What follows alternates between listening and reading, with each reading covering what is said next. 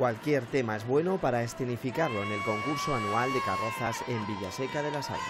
Los disfraces son los mejores. Desde el año pasado ya estábamos pensando la idea, venga, trabajando en el césped, mira cómo ha quedado, que ha crecido bastante bien el césped. Tenemos una niña pequeña y Es nuestra sobrina. es nuestra sobrina y pensamos la carroza para que ella se suba.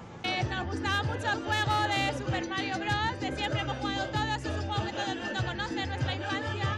El centro de la localidad sagreña se llenaba de curiosos que llegaban cámara en mano a inmortalizar el momento. Vestido y una falda de complemento con la bandera de España. Está hecha a mano con plástico y tela. Hace años, cuando acabó la de hace dos años, dijimos, vamos a hacer una especial, dijimos, de pitufos. El año pasado no la hicimos y dijimos, este año. Y ha sido pitufos, nada, simplemente nada. Buscamos un tema eh, ocurrente y lo, lo hacemos. Lo importante en estos casos es participar. Y nos echamos cuatro bailes y animamos la carroza. A lo que venimos es a participar, momento. no a ganar. y de las carrozas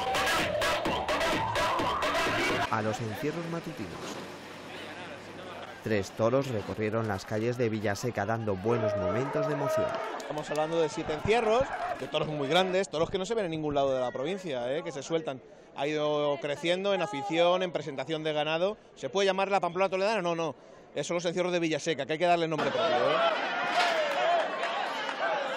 Por lo menos saber comportarse y saber a lo que te estás exponiendo. Pues nada, que tienes que estar bien y en condiciones y, y ayudar a los compañeros y todo. Que le corra a los que saben, los profesionales, que para eso vienen. Buena corrida que va a haber hoy.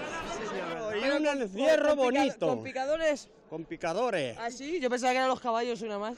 La Pamplona toledana de nuevo no ha decepcionado. La tradición se dejó notar para disfrute de vecinos y visitantes.